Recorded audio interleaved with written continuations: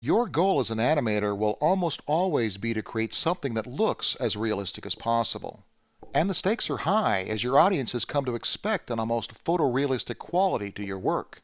Viewers no longer turn a smile at just any computer generated effort. No, these days they're looking for pretty much realism at its best. And in order to create the level of believability that'll turn heads, you need to do a couple things. First, you got to get to know your software of choice inside and out. You never, never want it to be the software or your ability to use the software to be what holds you back. The second thing you got to do is attempt to use a reference of some kind with whatever you're doing. Modeling, materials, lighting a scene, animating a character, it doesn't matter what you're doing, you most always will do a better job if you have a reference to compare to or against. So if you're modeling, find a real world example that looks just like what you're trying to make, or at least a picture of that object.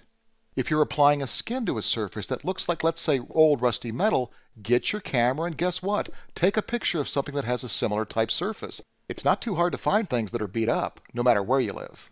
If you're trying to light a scene a certain way, pull out something like an architectural digest, or better yet, open your eyes and study your surrounds at the desired time of day.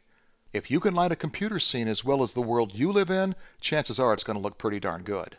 And when getting down to animating, again, the world's your best reference. And a setup with a TV and a hard drive, a DVR in other words, can be indispensable in you grabbing footage of whatever you need. Sporting events, nature shows, it's all just a channel change away.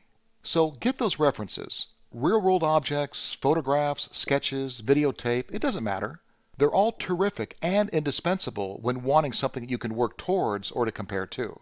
If you have a character, for an example, running through your 3D scene, grab a video camera and shoot someone running across the field or playground. Wouldn't that be a perfect reference to build off of? Or maybe that character's cracking a smile. How about using you as a reference? Grab a mirror and put a little bit of you in that character. You know how to smile, right?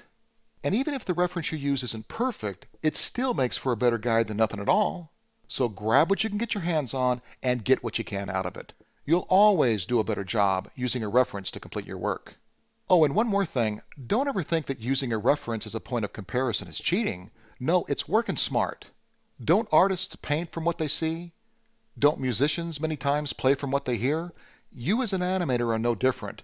If you're going to get paid to recreate the world you live in to the best of your ability, why not use that world as your reference? Ever heard the saying, work smarter, not harder?